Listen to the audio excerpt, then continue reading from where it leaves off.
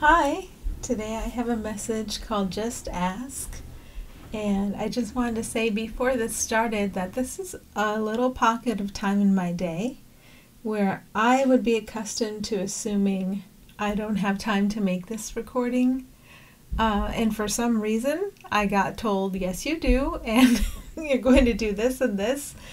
And it usually seems like I decide not to be stressed by not trying to squeeze things into a small amount of time. But that changes sometimes, I guess, and, and that's how this is right now. So there we go. okay, just ask. there is one true will, and you can ask to see evidence of that. Whenever you find that you are seeking, planning, or trying to figure out, you have an opportunity to pause in this pause, you can ask for anything. Ask to see evidence of the will that all share. This brings the peace that seems to be lacking. We are not telling you to ask for guidance yet. Not in this moment. First, ask to have a show put on for you. Why not? All you have to do is ask. Ask to be shown clearly that there is one harmonic will, and this harmonic will is fully capable of handling everything for everyone. You don't have to try to drop into it. Ask instead to be shown a display that helps you to sense and follow with much ease. You can make these demands, and we encourage you to do so. We want very much to show you the net of security, not at all based upon efforts you call your own, that is here for all of you right now. We want you to be able to see it for everyone.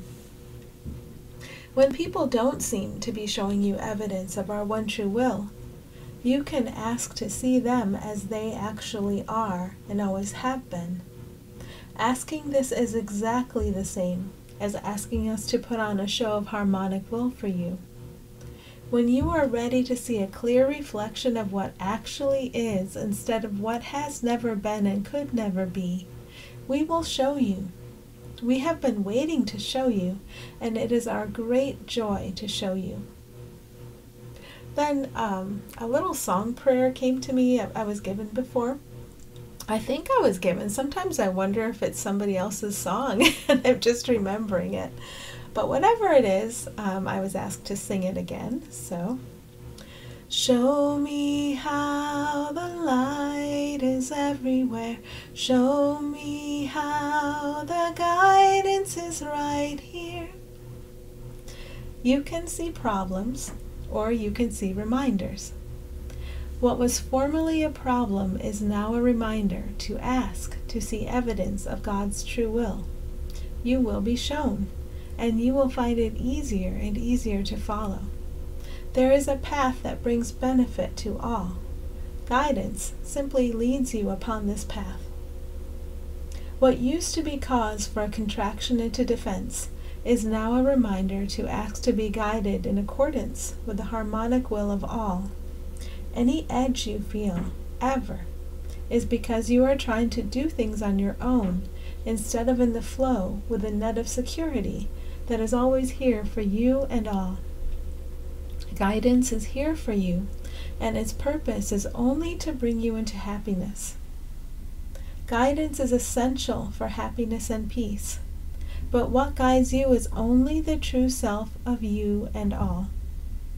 You cannot be led astray by what you truly are.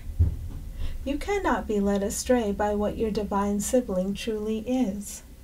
Whenever you feel an edge or a tension, it is because you are looking upon a phantom guiding force. Give thanks that you can feel this tension and to go within until it eases. It seems as though you can decide if an other out there is being led by guidance or by a phantom. That's just a trick of shadow. You can't decide that. You can, however, offer the guidance of our true self to all you call other by following it yourself. You walk the path, and it lights up for all. If you decide to walk alongside the path, while using the idea of the path to extract rewards from the world, it's okay. Because you will feel a tension and you will know that alongside the path is not the path. Alongside the path is still working hard. You don't have to work so hard. Let us show you how this is so in all things without exception. When you are relying upon the guidance of a phantom through imaginary landscape, you will see others in that landscape as wrong. You will see them as misguided. You will see them as hostile. You will see them lavishing compliments. You will see them doing pleasant and unpleasant things, but always the tension. Always the tension. You can't see anything real when you are walking with a phantom, so don't get distracted by any of the sights.